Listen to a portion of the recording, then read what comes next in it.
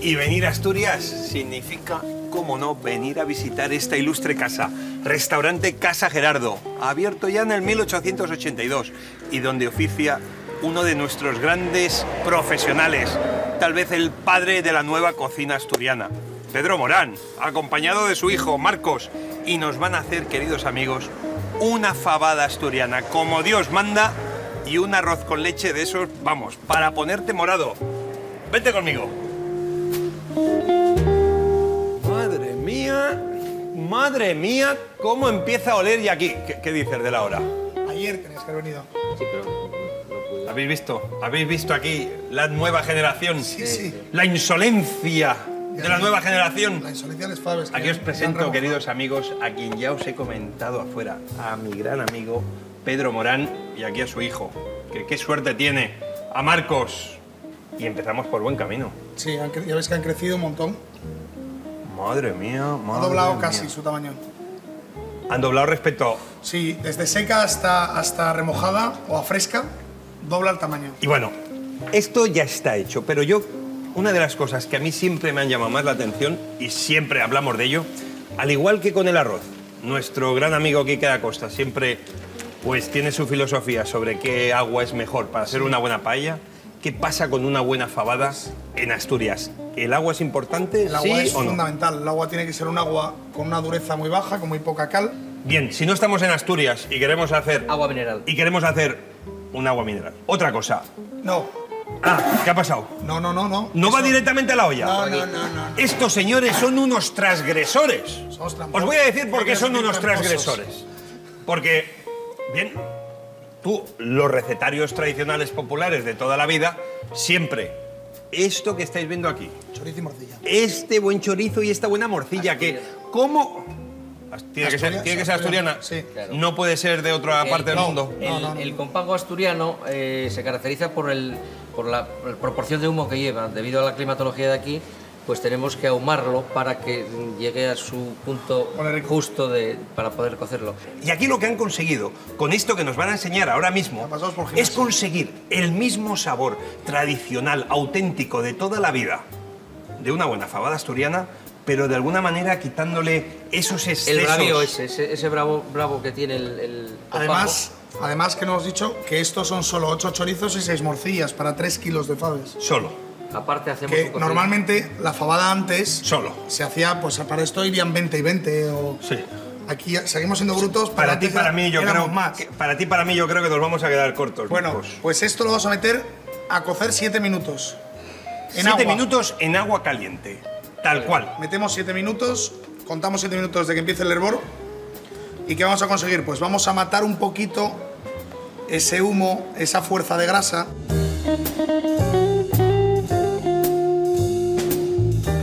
Bueno, lo- los siete minutos. Tiempo, Pipi, pipi, pipi. Allá vamos. Bueno, ha cocido 7 minutos. Pues sacamos 8 chorizos, 6 morcillas, te recuerdo. Pero aquí estamos hablando de la grasa que ha soltado, Claro. que es importante porque ya estamos quitando todo, todo este exceso que no queremos. Faves, faves en frío. Un momento, ¿este es el mismo agua de remojo? Es el mismo agua de remojo porque en esta temporada del año, más o menos, podemos. Cuando va llegando el verano, verano profundo, agosto, septiembre, echamos unas peditas de hielo el día antes para que no haya esa fermentación que nos huele o incluso la escuchamos a veces. Que le da hasta como un carbónico Sí, y le da un como un sabor a, Si nos a pasa soda eso, malo. Nosotros solemos echar un poquito de hielo el día antes. Si por la mañana igualmente está templadita, la cambiamos. Pero están utilizando. Pero lo mejor es el mismo agua de remojo. de remojo. Siempre recomendamos Y- el mismo agua de remojo. Claro, y nosotros medimos mucho hasta qué punto tiene que estar el remojo, que ayer hemos puesto. En casa, si se te va, este agua saca un poco, pero no lo tires. ¿La guardas? Claro. Vamos a ello. Bueno, vamos a juntarlo. Fíjate tú, otro dato curioso. Muchos libros, muchos recetarios populares te dicen, la morcilla se añade al final. ¿Qué va, qué va? Al final porque rompe. Fundamental. Están escuchando aquí. Todo comienza desde el principio. Y hay una cosa importante, que no has dejado, ya has mm, comprobado que la morcilla no va a romper, porque le has dado un hervor intenso durante 7 minutos. Importante. Nosotros tenemos incluso hechas pruebas, lo que has dicho antes la morcilla al principio, de hacer solo fabada con morcilla y queda casi igual. La morcilla es más importante posiblemente que el chorizo. Tenemos aceite aquí. A ver, un aceite, aceite de oliva. Aceite de oliva, eh, mejor 0,4, oliva 0, lo que antes se llamaba 0,4, que ahora se llama... Acidez 0,4. Que se llama oliva, solo, que no pone Vale. virgen. Bien. Entonces, No lo quieres excesivamente fuerte. no, queremos un aceite que no marque. Bueno, ¿y esto qué? Hazla. ¿Habéis visto que todo el tiempo tapada, la olla tapada? Porque queremos que arranque el hervor y que arranque el hervor. Si la mantenemos destapada, pues simplemente no vamos a conseguir que el agua coja la fuerza que necesitamos. Ahí va, ahí ¿Voy va. por buen camino? Perfecto. Porque yo, fíjate, otro dato más, otro más a añadir. Yo pensaba que la fabada siempre destapada. ¡Hala! Un mito más que se nos va. No, no queremos evaporación. ¿Lo habéis visto? Concentración. Queremos concentración aromas, y el agua necesaria. Dios mío, evaporación, concentración. Yo solo quiero una fabada, por favor. No, no, no. La vas a tener. Todo esto es importante, es vital. ¿Y qué pasa con toda esta espumita? Vamos a espumar, vamos a quitar toda la impureza que tiene propia de la legumbre, como tú has hecho en muchas recetas, pero nosotros en vez de hacerlo con un cacillo lo vamos a hacer con la espumadera tradicional, porque hay grasa ahí que es aceite y que es del chorizo y de la morcilla, esa nos interesa.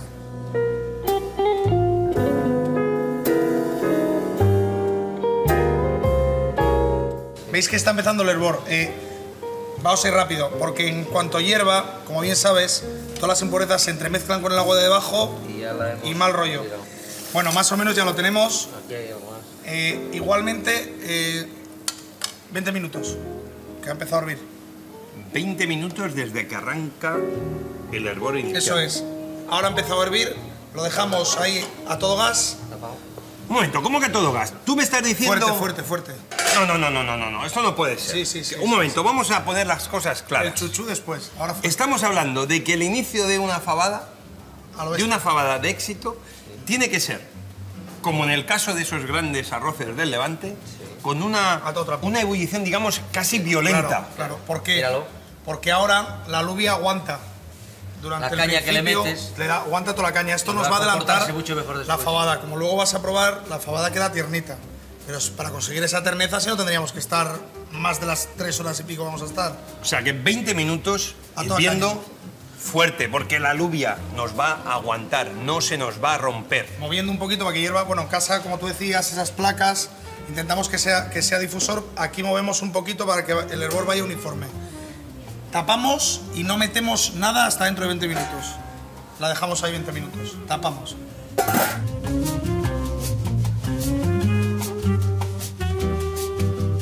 ...20 minutos ya, José. Ya han pasado. Vamos a ver. Ya va, el tema va bien, ¿eh? El tema va bien. A los 20 minutos famosos, apagamos la placa, apagamos el fuego, ¿Pero cómo que apagamos? paramos, Pero si esto aún le quedan tres horas de cocción. no hay prisa. Paramos. Paramos la intensidad del La fuego. intensidad, no, no paramos la cocción, la No cocción que vaya bajando de- despacito. de la placa de calor. Y vamos a echarle un sofrito, vamos a echarle un sofrito a la asturiana, que es, un- que, que es una cosa muy distinta a lo que todo el mundo entiende por un sofrito. Enséñamelo. Un sofrito a la asturiana. Que tarda nada. Básico tarda en, este, en esta fabada mágica. Hemos echado antes 250 de aceite de oliva, ahora vamos a echar 125, o sea, un poquito menos. Y a esto le vamos a echar cebolla, cebolla muy picadita, Una cebollita de las nuestras, Muy poco, menos, menos de una cebolla. ¿Para qué vamos a hacer esto? muchísimo Esta- menos. Muchísimo menos. Esta cebolla vamos a dejarla que salte y cuando esté saltando. A ver, un momento, va, va, va, va. Que salte como, como saltaría el ajo. El hecho que esté bailando. Ese es, que baile. No vamos a freírla. Bien. El sentido que tiene es que me ayuda a no quemar el pimentón. Yo en realidad la cebolla no tengo ningún, ningún motivo para O echarla. sea, que la, la cebolla lo que le está aportando de alguna manera Ahí aquí va, ahí va, ahí va. es un agua. Eso es. Es un agua que hace que el aceite no tenga la oportunidad de coger ese calor excesivo Eso que haría que un pimentón seco ya por sí, que no tiene prácticamente nada de agua, y al estar en polvo y seco, al echarlo en Va un aceite caliente, reacción, en un momento se nos Vamos quema. allá. Y un pimentón nunca se nos puede quemar porque nos arruina el plato. Vamos allá. Ahí. Y esto es lo que nosotros llamamos aquí un sofrito. Bien, un sofrito. Bien, un sofrito a la asturiana. Esto se añade a la olla y. y ahora salamos dependiendo de la potencia que nosotros, por ejemplo, ya sabemos que tiene este chorizo y esta morcilla. Nosotros vamos a echar dos cucharadas de sal. Y entonces, ¿por qué no le has puesto la sal desde el inicio? ¿Por qué 20, 30 minutos después? ¿Algún sentido lógico? ¿O es, lógico, o es la manera? Inicialmente ninguno. Tiene sentido porque está también caliente. La sal, al ser liposoluble, como bien sabes, pues se va a derretir rápido, si no se podría quedar pegado a alguna fava. Oído. Azafrán seco en estas bolsitas, que son 0,006 gramos, o sea, Nada. las bolsitas que compramos todos en el súper. Muy bien. Y echamos siempre el azafrán encima de un puntito que nos quede de hervor. Porque si lo echamos donde ya no hierve, pelotita de azafrán. Y si lo echamos en el hervor, se, dilu- se Yo, diluye. yo no sé vosotros, pero yo hoy de aquí me voy seguro con una enciclopedia culinaria de lo que tendría que ser una fabada número 10. Nunca se puede eh, agitar ni mezclar ni, ni introducir ningún elemento mm, de, de cocina a la fabada, porque al contrario que, que a una pocha o que a una judía eh, de otras características, lo que intentamos es que la fava rompa la que tiene que romper, que te va a dar después la proporción y el, y el, y el grosor de- del caldo De harinosidad, de harinosidad que te va a dar el. Pero es fundamental que rompa un porcentaje muy Para que le añada para- esa untuosidad y- y que haga de ligazón. efe- Efectivamente, para que ligue. Echamos el azafrán. Entonces, un momento, pero si me acuerdo lo que me acabas de decir, Ahí. siempre, ¿te acuerdas dónde? En el punto de hervor. Ya está la fabada acabada. Solo queda un poquito de horas. A ver, Ya me, está. me dices que No se se está pagando, más. pero dices que aún quedan horas. Sí. ¿Me estás diciendo que al final la fabada se nos va a hacer como si fuera prácticamente una infusión? Eso es. Más menos, hombre. Sí, ¿Cómo pues mira. Que no hay hervor, ¿Cómo pero- terminas de cocer tú una langosta? Intensamente con el fuego directamente o una vez que empieza a hervir lo apartas y con su propio calor y con, lo- con el calor que transmite una, una plancha va a seguir haciendo la cocción como debe de ser, de más a menos. Más o menos es esto lo mismo. O ¿Este ritmo que tiene? Lo que me estás diciendo, esto es, una, es un ritmo casi de infusión. Es- Sí, sí, es un es- chup ¿Quieres más? Una infusión larga, Larga. Porque, porque sabemos que una judía necesita mucho Vas tiempo a de evitar cocción. roturas. Vas En, a... en casa, como decías antes, pues si antes servíamos al 10, ahora al 1. Y el que tenga gas, que es una bendición para cocinar, Que lo ponga muy bajo. no, que lo ponga al mínimo real, no al mínimo de la placa, porque el mínimo de la placa es un chivatito, Ya. pero el mínimo real es el que tú ves. Bien. Entonces, al mínimo mínimo, Esto va a seguir así. tapamos y... Y sigue tapado porque no quieres exceso de Exacto. evaporación. Y yo me quedo aquí... pues, Otra cosa más que para mí ya es romper. Otra cosa más de tantas que hemos visto. Siempre tapado. Aquí estamos hablando de esta de este producto magnífico que ha hecho la cocina asturiana una cosa maravillosa en el mundo gracias a este plato que es nuestro gran plato. Y gracias a esta fava pues hacemos esto, pero tenemos muchas otras que se están cultivando hoy en día en Asturias y que son de primera. Hombre, evidentemente. Mira, yo te ¿Me las enseñas? Sí, vamos a verlas. ¿Me las enseñas? Venga, perfecto. Vamos a ello. Vamos. A ver. Madre mía, lo que me tienes aquí montado. Fijaros qué selección. Y aquí tenemos la que ya estamos cocinando, la reina de las La reinas. Faseoles vulgaris, la fava asturiana eh, que bueno que tiene una serie de características eh, diferentes a las demás fabas o judías que hay. Es impresionante lo que la hemos visto crecer, ¿no? Cómo crece, cómo, Sí, cómo- dobla, cómo triplica el volumen. Y encima tiene una particularidad que es que la- tiene menos piel que, que casi... Yo que, que- que las faves que conozco por ahí no tiene nada que ver con esta. Claro, cuando tengamos la fabada acabada, cuando veamos la fave, la fave, La fave. Es que luego me reñen por lo del bable, que dicen, Bueno, qué malo bable, pero qué, mal que hablas Y bable. muchas veces es las faves o les faves. Bueno, pues Aquí está un asturiano, para que no os metáis conmigo. No pasa absolutamente nada. por Entonces es increíble que luego cuando la ves cocinada intentas de alguna manera encontrarle la piel y no se la encuentras. O sea que la calidad de una buena fave tiene que ser que cuando esté cocinada no te enteres nunca de que prácticamente tiene piel. Y este sello es muy importante, del Consejo Regulador. Y lo del maíz que lo tienes al lado El es por una cosa muy curiosa. Esto no deja de ser la Faselus vulgaris, no deja de ser una enredadera. Significa que, que trepa, que, que sube, que, que- intenta acercarse al sol. Y el maíz. a través del maíz y antiguamente se aprovechaba el maíz para el, ganado como forraje y la fava para el, para el alimento humano, ¿no? Porque realmente la fava, los primeros escritos que hay de la fava son- datan de 1800, finales de 1800, o sea, quiero decir que es relativamente moderna, Moderna. la- el plato de fabada.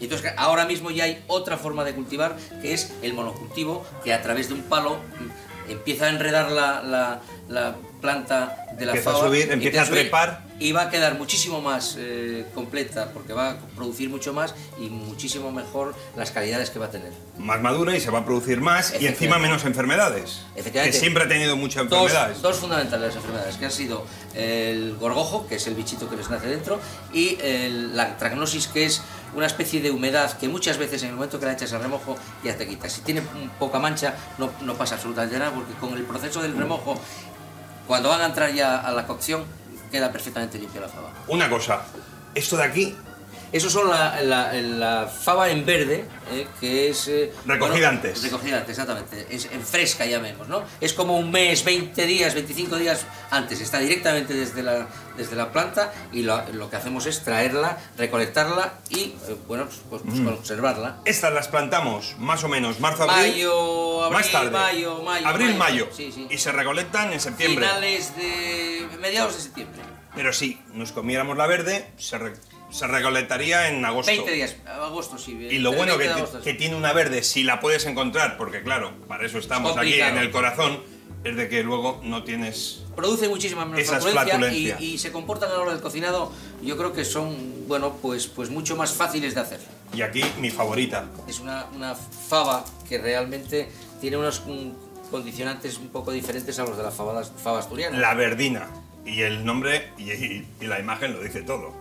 Es realmente impresionante. Parece- Y acompaña cualquier marisco como nada. Es mucho más fácil, eh, eh, se comporta mucho mejor con marisco y con pescado que con cerdo. Y esta de aquí, Bueno, pues eh, realmente esa es la, La la pinta. fava pinta, que bueno, que ya no tiene la calidad gastronómica mm, de las otras dos, porque estas puedes llamarlas eh, señoritas o de clase superior, pero bueno, estas esta son la pura aristocracia. efectivamente, aristócratas del todo. Y esta Pero ya esta es también es de muy buena y se hacen unos guisos también tradicionales. acompañados con un arroz blanco, acompañados con, un- con un chorizo con también. Y aquí nos la encontramos dentro de su vaina, que en asturiano la vaina, ¿cómo le llamamos? Cachina, Cachina. C-A-X-I-N-A.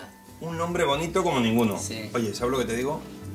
Que aquí ya me están llegando los aromas de la fabada. Y yo quiero ponerme a hacer ya mismo ese postre que en esta casa hacéis como en ningún sitio. Bueno, eso Ese arroz con leche. debe ser por la leche, que es asturiano. Vamos, vamos. Venga, adelante. ¿Cómo me lo estoy pasando con las faves? Madre mía. ¿Vamos bien? Nosotros vamos genial. Sí. ¿Y tú crees que lo va bien? Yo creo que sí, porque ya me está La leche preparada está la leche eh, a puntito a puntito ya de, de hervir. ¿Y aquí cuánta leche tenemos? Aquí tenemos 13 litros de leche para hacer un kilito de arroz. Tú me dijiste, vamos a hacer solo un kilo de arroz, pues vamos a hacer solo un kilo. Así que 13 litros de leche. Bueno, ¿y con qué kilo- seguimos? Un kilo de arroz. Lo que vamos a hacer es romper este arroz en una proporción de leche que es un litro, litro 300, un kilo de arroz por un litro. Vamos a ir agua. poco a poco, porque aquí estamos oyendo cosas que si tú lees una receta tradicional en un libro, no te hablan de ello. Aquí ya están hablando de romper el arroz. Efectivamente. Vamos a ir poco a poco, porque os lo digo, este arroz es mítico. Es mítico porque es que es una cosa increíble. Yo pensaba que sabía hacer el arroz con leche hasta que visité esta casa. Empezamos. Cogemos el, Arroz, el arroz y- leche y, la rompemos en agua. y, lo rompemos en agua. Y cuarto, un poquito por encima de, como ves, de, de la, de la olla. Que significa que le vamos a levantar el arroz. Efectivamente. Pero ya vamos eh, incorporando la canela y la vainilla, que hemos roto aquí. ¿eh? Una, una, una canela neutra, tampoco tiene que ser muy aromática, porque realmente lo que queremos es que eh, el, el- el- aroma y el sabor de la vainilla y de la canela deje un, poque- un toquecito al final. No, no mm, aromatizamos ni con limón, ni con yema de huevo, ni con anís, ni con nada de nada. Una, una pureza absoluta. Efectivamente. Bueno, como veis aquí, si os fijáis, justo en el interior de este atillo vemos que está la vainilla. Y lo que veis es que Lo hemos roto son inteligentes, hacen un atillo. Efectivamente. Para de esa manera no tener que tirarte luego media hora pescando todos los pedacitos de canela por esta piscina de leche y arroz. O sea que esto funciona de maravilla. Eso sí, si hacemos una cantidad, digamos, como ha dicho Marcos, bueno, de pues- simplemente a medio palito de canela. Proporcionándose. medio palito de canela, siempre en las proporciones justas para que la canela no sea más importante que la leche y el arroz. Y ahora vamos a empezar a romperla. A ir, que el arroz vaya absorbiendo el, el- el agua, soltando el poquito de almidón, porque ya sabes que el arroz tiene una cocción hasta un cierto punto, ¿entiendes? Y el almidón lo podéis ver rápidamente, ¿no? Fijaros como el agua transparente, cristalina como ella sola, de golpe vemos que coge este color lechoso que ahí es donde está ya soltando de alguna manera el almidón. O sea que este punto es muy importante para que suel- suelte y- este almidón. Y fundamental para que después al final eh, el, el- el- el comportamiento del arroz dentro de la cocción del agua sea lo apropiado. Es fundamental porque a pesar de que mucha gente hace las cosas, eh, o sea, va directamente del arroz a- al, al agua, a la a la leche. leche, Que es como yo lo he hecho toda mi vida y la mayoría de los recetarios pues te lo explican así. Este es un punto yo creo muy importante. Y sigue tomando nota porque es que este arroz, te lo digo, que es para llorar. así es como tiene que estar. Maravilloso. Una papilla. Efectivamente. Bueno, pues entonces ahora vamos allá a, a- a cambiar. Este punto vital, habéis visto cómo ha quedado La el leche ya arroz. veis que está hablando ya. Mágico, una cosa única. ¿Y ahora qué hacemos con la leche? Una vez En la diga- leche ya la tenemos aquí, pues que ha arrancado el hervor y que vemos esa grasa de buena leche asturiana que ha subido a la superficie. Que esto es muestra de una buena leche, de una buena crema y la vemos ahí, justo en su superficie. Con que, su punto, por todo. que va a hacer que este arroz quede realmente de primera. Vamos. Como ves, hay que tener mucho cuidado de la leche, que no pegue más de la cuenta, porque si no, Por eso nos va a salir un poquito el, el sabor al final. Se nos va a quedar esa ligera capa pegada al fondo. Y lo Vamos que están haciendo es cambiarlo de olla. ¿Aprovechamos todo? Sí, sí, todo. Vamos, Sí, ¿no? Aquí se aprovecha absolutamente todo, querido Marco. Bueno, ya está. Bueno, pues ahora vamos a introducir en la leche el arroz. Y vamos a ir poco a poco haciéndolo como se hace siempre aquí, muy despacito. Ya empezamos desde cero con una olla nueva. Vamos bien, ¿eh? La espada de Damocles. Fundamental. Palo de madera De madera. y a revolver. Pero fijaros que muchas veces nos encontramos espátulas que de alguna manera son circulares o tienen esta forma circular al fondo. ¿Qué pasa? Si es circular, pues simplemente te va a ir por los lados. no vas a conseguir realmente rascar el fondo. Y esta, al ser perfectamente plana, Claro. lo que vamos a conseguir... ¿Me estáis dejando a mí introducirla? Dale, dale. Luego yo no quiero excusas, si queda mal. No, no, si pegas, yo me los Si conozco. pegas culpa tuya, está y simplemente con mucho cariño Efectivamente. y decirme si me el- equivoco. con un el- movimiento no, así. Con el peso de la. de la- Ya, de la- ya, de la- ya me he equivocado. ¿Habéis visto? Va a ir así, haciendo este, este sistema, Cuatro segundos me ha dejado hacerlo.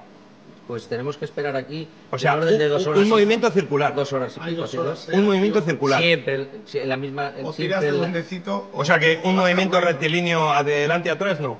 siempre. Pues fijaros, aquí hay una escuela. Este señor y es el maestro. Con- O sea que con este, con este, este sistema- movimiento circular. Este movimiento siempre no vas a dejar que. Porque dentro de poco va a empezar a engordar, mm, va a empezar a consumir eh, la, la parte de, de agua que tiene la leche y va a ir poco a poco eh, engordando y poco a poco decreciendo la, la, capa- la- La plancha a tope. la cantidad que tiene de. Y ahora la plancha a tope, Sí, a tope, a tope. a, todo lo que soportes. A veces ves que la plancha se te Mira, va. es importante ver que las ollas, cuanta más base tiene, cu- cuanta más suela tiene, mejor. Si son muy finas, se nos va a pegar todo con mucha más facilidad. Y aquí no queremos que se nos pegue absolutamente nada. Efectivamente. Ahora lo que tenemos es que ir poquito un a poco, poquito. dándole vueltas, Un poquito bastante. ¿eh? un par de horitas, ¿Sabes lo que te digo? Se está haciendo el arroz con leche. poco a poco. A eso aún nos quedan dos horitas que hay que seguir Bien. dándole. Mm, Yo tengo los duendes estos. La tienes fabada que por le queda un poquito. Los tengo haciendo. Tú tienes los duendes haciendo Hemos eso. contratado a, a dos. Oye, Marcos, ¿y los nuevos platos de la nueva carta, el menú de degustación, qué? ¿No lo voy a probar o...? Hay que, hay que intentar cambiar un poquito lo que es la, la fabada y el arroz con leche. Siempre entra en el menú de degustación, pero vamos a darte cinco o seis cositas que, que también Ahora mientras espero, pruebo un par de cositas. Tú come mientras nosotros trabajamos. ¿Te apetece a ti hacer un menú de degustación de aquellos rápidos? Para aquello empezar a hacer apetito, tú sabes, aquello que dices... "Uh, Vamos, venga, Venga. ¿atacamos? Vamos para allá. Vamos allá. Qué buen color que tiene este vino. Daniel. Pues este vino es de Mallorca, un Pla Levant, Sabal, de Miquel Oliver. Bien, Ah, es, impresionante. predomina el Viognier, varias variedades autóctonas. Increíble. Empezamos con el plato de aperitivos de la casa. Tradición con una chispa de modernidad. Bocadillo crujiente de quesos asturianos, cebollita eh, rellena de pisto de bonito, la crema de nécoras y las croquetas del compango de la fabada. Vamos a empezar con fabada y luego más fabada. Pues tú ataca, ataca. Yo, con tu permiso, que aproveche. Como tú no puedes saborearlo, lo saboreo yo por ti. Más los moluscos, esencia de jamón y licuado de hierbas, ostras y almejas. Cigala, pasta y berza asturiana. Madre mía. Cigala pasta y berza asturiana. ¡Viva la tradición! Pulpo a la brasa, mazapán de pimentón y picada de cítricos. Rubiel esencias y patata. ¿Esencial de qué? Esencias de las espinas, de un poquito de tandoori. Pitu de caleia.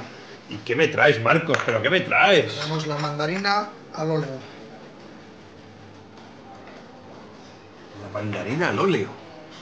¿Aceite de oliva con mandarina? Dos cucharadas soperas de aceite de oliva, una cucharada de mandarina, heladito de piña asada y chocolate.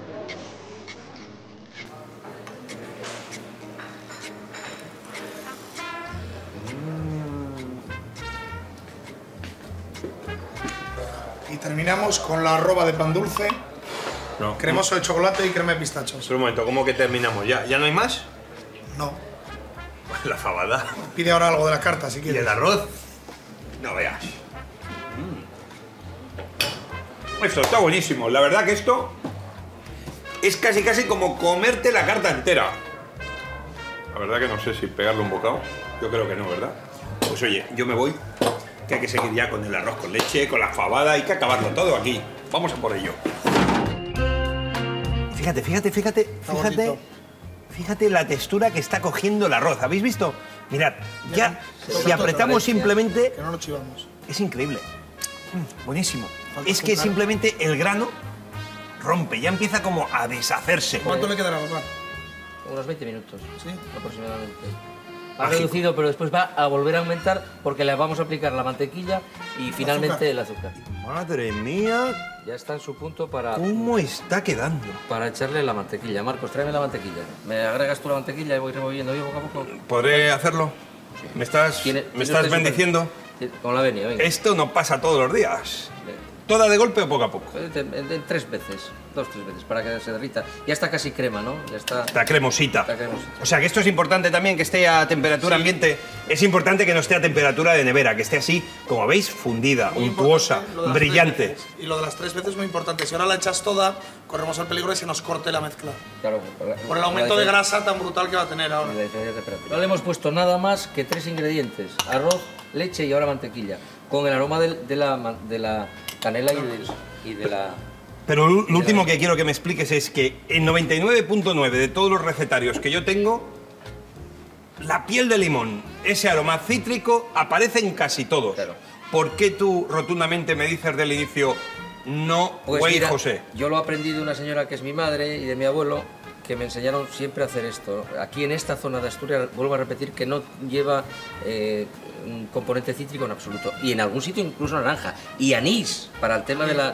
Pero bueno, aquí en absoluto, nada más que eso. Ya sabéis, natural. si queremos la tradición como Dios manda, el cítrico ya simplemente queda fuera. Que se lo quieres echar, se lo echas, porque para eso en la cocina todos estamos libres de hacer lo que queramos. Pero, ¿tú te quieres comer una, un plato, un arroz con leche tan mágico como este? Pues vamos a hacerle caso aquí Vamos al a esperar ahora 10 minutos para después incorporar eh, el, el azúcar y antes del azúcar una pizca de sal. Porque todos los postres para mí deben de llevar un contraste de sal, para que no te sepa excesivamente dulzón. Bien, bueno, ya ves cómo ya está. Está perfectamente ya para echar eh, la sal y el azúcar. Marcos, tráeme el carro porque hay que mm, eh, incorporar el azúcar siempre fuera del fuego. O sea, que el azúcar incorporada fuera ya. Efectivamente. Fíjate, otra cosa más que me rompe moldes, que muchas veces te dice el recetario, se añade el azúcar y se sigue cocinando unos cuantos minutos más. Primero la sal. Primero la sal. Bueno, os vete incorporando poco a poco, despacito. Fijaros en la superficie, fijaros, lo que está sucediendo de golpe es como que se hace un almíbar. Un almíbar porque rápidamente, con el calor, es como que el azúcar funde y se ve como que se, se queda almibarado.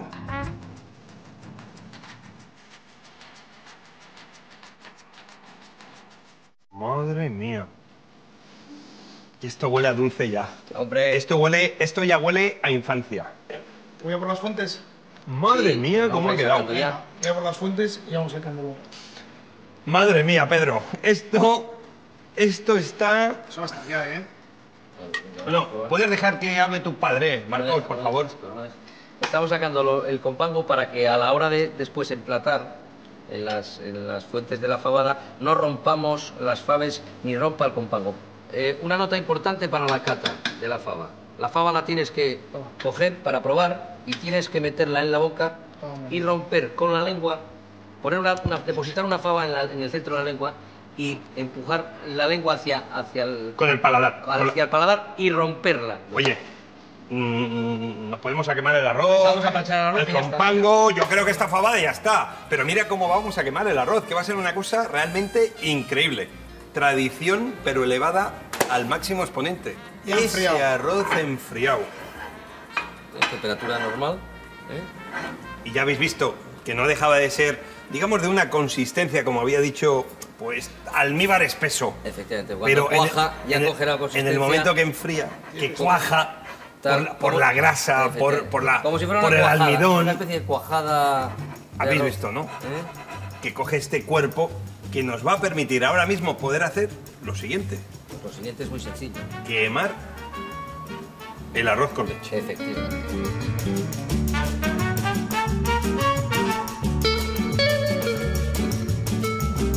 Y mirad esta pala. Esta pala que tenemos aquí, incandescente al rojo vivo, Este es el momento mágico.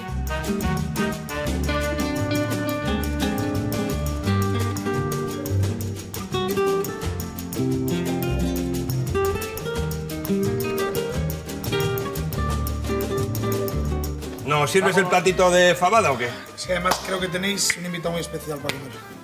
¿Quién, quién viene a comer con nosotros? Pues eh, la señora jefa de la casa, que es mi madre, Ah, la madre, la abuela. que hizo muchas veces fabada y todavía está en estado de decirnos cómo está la comer. fabada. La reina, segunda generación.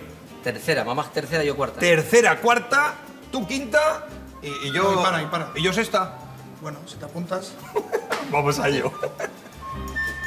La verdad que qué maravilla de carta que tienes, Pedro. Oye, yo por esa fabada, por ese arroz, por ese restaurante, Por la cocina asturiana, yo creo que es lo que realmente- por la cocina asturiana y por este chaval que tienes y la nueva generación que no veas, macho. Bueno, y la, y la antigua, que aquí viene.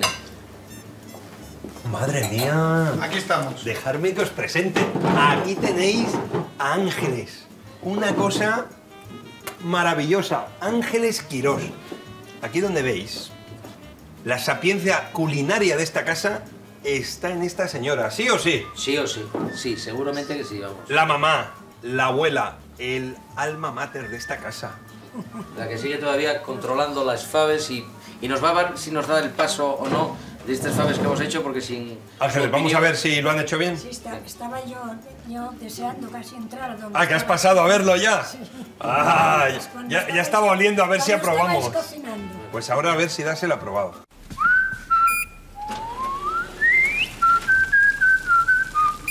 Nuevo horno con puerta extraíble automática Bosch. Así de fácil. Es con mi abuela junto al, junto al compango. Una versión de comerlo. Atento aquí. O sea, que lo mezcla con las faves. Sí, hay gente que lo toma antes. ¡Hala! Hay dos formas también de comer la fabada, que es deshacer el compán con los ingredientes cárnicos antes y servir encima las faves.